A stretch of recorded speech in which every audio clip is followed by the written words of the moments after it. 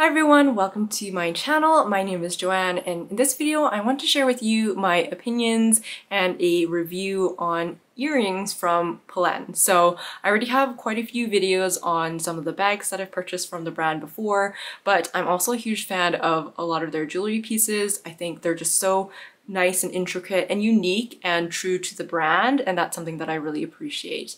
And in my opinion also price-wise they're really not too bad if you're looking for, um, in comparison I should say, to other I know like luxury brand, but really like costume jewelry, which is vastly more expensive. Um, one thing to note is that I actually didn't purchase this directly off of Polène. I had um, this exact set of earrings on my wish list for quite some time and I was actually planning to purchase this from the website during their holiday season because they usually have free shipping but then I stumbled across them on Poshmark and everything checked out so I went ahead and purchased them and I got a pretty good deal I would say. So keeping that in mind I can't really comment in terms of my purchasing experience for jewelry from Polène because this is secondhand, but I thought this would be helpful anyways. I haven't seen too many videos, especially like more of a long format review on jewelry pieces from Polène. So I hope this is helpful if you were interested in purchasing something. So probably by the title of the video, you know that I did purchase the Éole uh, stud earrings from Polène. I'm probably butchering the pronunciation of that, um, but it did appear that it came with all of its original packaging just based off of like short clips of people unboxing other jewelry pieces and earring sets from Polène. So I'm just going to share with you what I got so you can kind of get a good idea. So starting off with, I don't know, maybe the shipping box. I don't know if this actually came in another box or if this was the shipping box, but it does actually come with the correct barcode and everything from Polène with the earring um, name and everything on the bottom here. But it is one of these kind of pull up lids and you can see on the underside it does say Polène there and here is the other packaging for the earrings. So this actually comes out as you can see so this whole thing comes out. Uh, one thing that I really wish was that this little band right here, I really wish that this was not actually attached to this back cardboard, but unfortunately it is, and I don't want to even risk kind of like ripping that off or anything. It's a really nice setup, I would say, in terms of its packaging, um, and it's good because it secures this to this perfectly fitting cardboard backing so it's not going to move around. But I think it would actually be nice to have this band directly on the uh, jewelry case if you call that. So this easily slides out of it though. And then this is the earring box that it comes in. On the back it has the barcode and it just has some other details there. This is very similar in look and coloring and everything to their other packaging. Um, and it does actually have the logo here on the front there. A very, again, unique sort of um, earring box. It's quite bulky for what it is, but I think it's just really nice and elegant. It's, it's quite nice. So it does take up a lot of space, but you know, it's, it's quite nice visually in my opinion.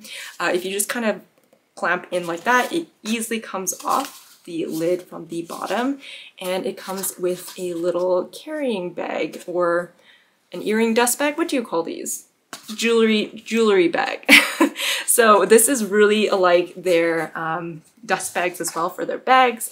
Um, it's kind of a nice kind of canvasy material on the outside and it just has Polène there as you can see flips open and it's very soft, just like their dust bags, um, their newest dust bags. Uh, so it's very soft and this actually has kind of like three different compartments in this pouch. Uh, so in the back it has the tag actually, so as you can see there, that's the name of the earrings that I purchased and it has the exact sort of um, tag as their bags as well. So it has a little bit of details in terms of maintenance and composition of the earrings, um, as well as uh, information. So the jewelry box is made out of 100% recycled paper pulp, which is nice. Um, and yeah, so this looks exactly like the tags um, for their bags as well. And then aside from that, so that kind of is the back compartment. Uh, and then it has two other individual compartments. So I have one earring in each uh, piece.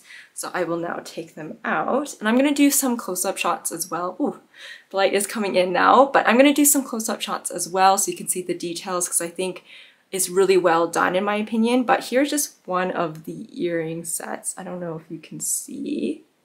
There you go. So this is what the earring looks like. Again, I'll try to do some other close-up shots so you can really see. But everything was really nicely packaged. I think originally how it came in as well. So I was really happy with my purchase. Like I mentioned, actually, in terms of the pricing for their jewelry pieces online, I would honestly say they're quite nicely priced. Um, I think in general, they're worth the money, um, especially if you're into that sort of uh, jewelry. Um, on top of it, in terms of its material, it is says it's it does say it's made out of brass and it's gilded in 24 karat gold. So that's quite nice in comparison to, I'd say, a lot of like even more expensive, like vastly more expensive luxury brands who have, I'd call them like costume jewelry. And it's literally just metal and I, I would say like an unpopular opinion, but I don't particularly want to wear just a giant logo for earrings, for instance. That's just not my personal preference. But for me, like all the different Polène pieces are really, I would say the design is true to the brand and I really like them. And it doesn't say like Polène just like on a on a plate or something and I have it on my ear. So I just really like the jewelry pieces for what they are.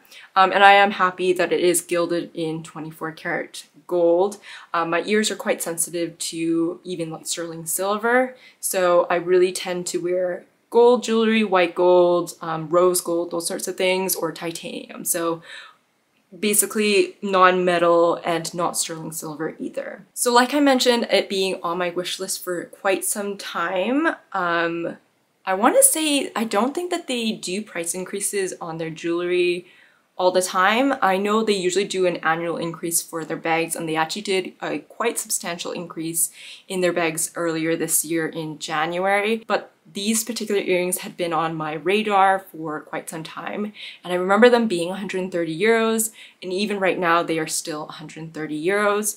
So I'm just gonna, I have some notes here, but um, so basically that converts to about $195 Canadian, but really after like tax and duties, if I were to purchase them right now, I would say it probably would land myself closer to about $250. And so if you are a fan, as I mentioned, of their actual jewelry, I would say it's really nice. In my particular case, but because I did purchase it secondhand, I got it off of Poshmark. After shipping and tax, it came out to about $147 Canadian.